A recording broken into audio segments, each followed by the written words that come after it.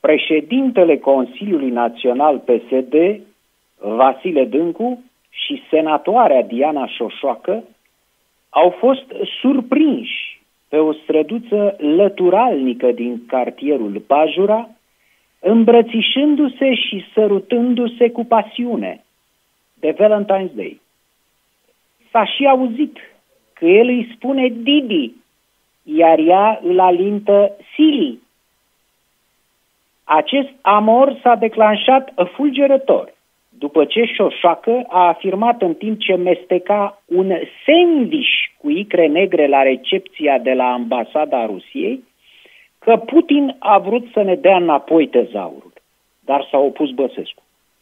Iar Dâncu a declarat că Maia Sandu fabulează în legătură cu planurile Rusiei de a răsturna, cu ajutorul omuleților verzi, guvernul legitim al Moldovei și a instalat în Chișinău un executiv păpușat de Kremlin, ci că Sandu vrea să recâștige simpatia pentru partidul pro-european care o susține.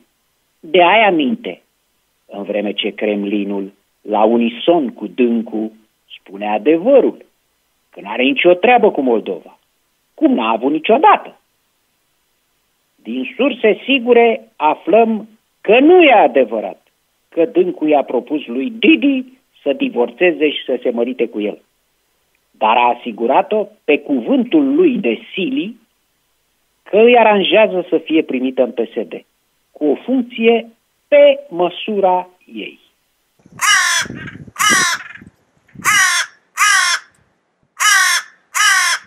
Ceva se întâmplă în Corea de Nord.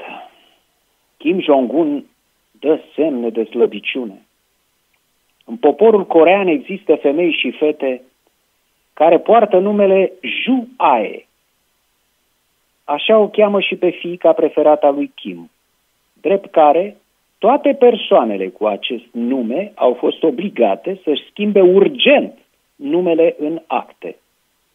Ju Ae nu poate fi decât una.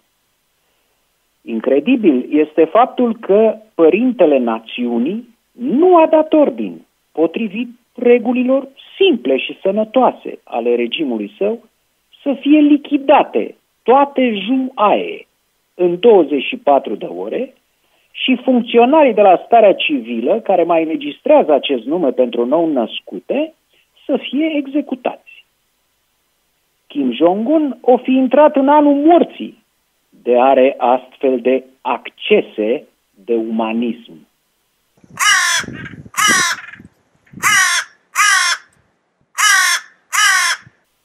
așa cum au arătat fără umbră de îndoială politicieni, maestri ai presei și taximetriști autorizați din România, cu tremurile din Turcia au fost provocate de americani ca să-l dea jos pe Erdogan în alegeri.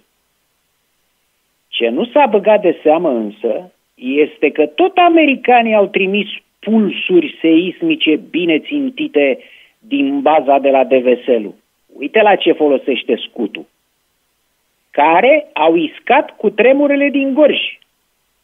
Nu degeaba spune directorul Institutului Național de Fizică a Pământului că aceste cutremure sunt surprinzătoare, că, geofizic vorbind, n-ar fi trebuit să aibă loc în zona Târgu Jiu. Care e scopul Washingtonului? Dacă pe Erdogan vor să-l înlăture pe Claus Iohannis vor să-l mențină la putere în România. Cu tremurile din Oltenia sunt repetiția test pentru marile zguduiri ale pământului românesc pe care americanii le vor declanșa înaintea alegerilor prezidențiale din 2024.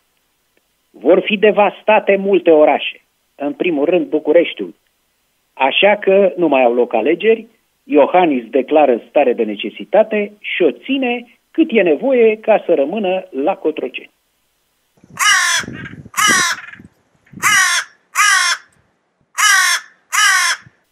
Soluția pentru criza rotativei guvernamentale din iunie mi se pare că ar fi să avem un bipremier, Ciolacu și Ciucă în fruntea guvernului. Pe scurt, premierul Ciociu. Înțelepciunea populară de pe la noi îl va consacra repede sub numele de prim-ministrul Ciuciu.